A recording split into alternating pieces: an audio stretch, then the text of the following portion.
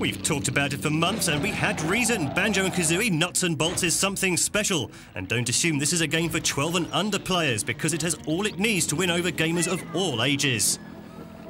For those not in the know, here's a little history lesson. In 1998, Banjo and Kazooie on the Nintendo 64 platform was a game in which you saw over a couple of composed of a bear and a curious bird. For many players, up to the summit of video game history, far superior to a certain Mario 64 that at the time was massive.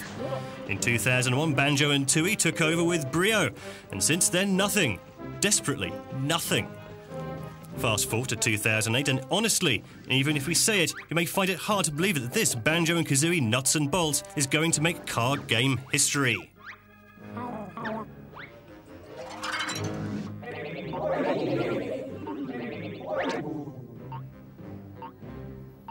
So, here's how it works a central universe and a lot of smaller universes where you have to accomplish various challenges sent your way.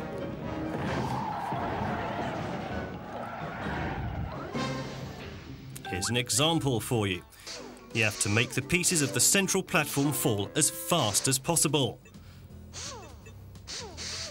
You then choose your vehicle of choice and head off to work. But if you want to be more effective, there is a solution, and that is to build your own vehicle from scratch. Now, perhaps this is the main selling point of the 2008 version of Banjo, in which you're able to build thousands of vehicles to your own specific needs. And perhaps making each more outlandish than the last. Perhaps the only limitation is your imagination. For this challenge, you have to create a rather heavy structure to be able to move the big pieces posed on two large motors and two reservoirs, and even more so, you equip yourself with a train safety bumper and four wheels for stronger grip. Two seats to complete our weight distribution, and you're ready to set off on the challenge.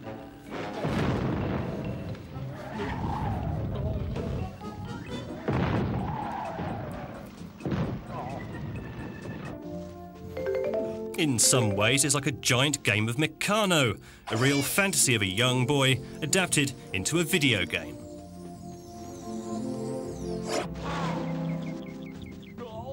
Perhaps that's because, in addition to the main principle of the game, you also have to collect pieces of a puzzle.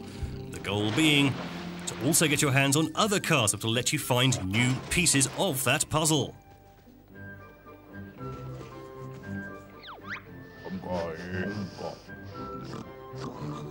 In addition to that, you'll find street vendors on every street corner who will offer you plans for pre-built vehicles.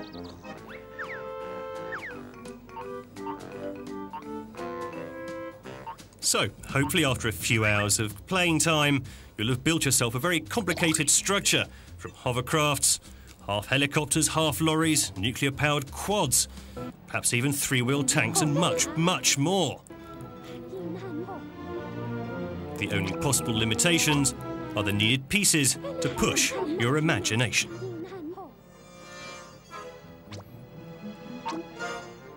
The possibilities are endless, whether it's aerodynamics, weight distribution, or road handling. These models can end up being quite realistic. All of this with your little friend Banjo, who has plenty of second degree humour. We do admit that you'll need to extract the inner child from yourself to enjoy this game to the max, but if you happen to be watching this, you, like us, are ready to have a go.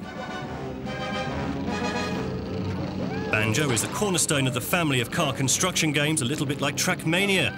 That is the reference when it comes to race circuit design. So, go out and buy it, or at least try it. And in a matter of minutes, you'll realise it's worth it.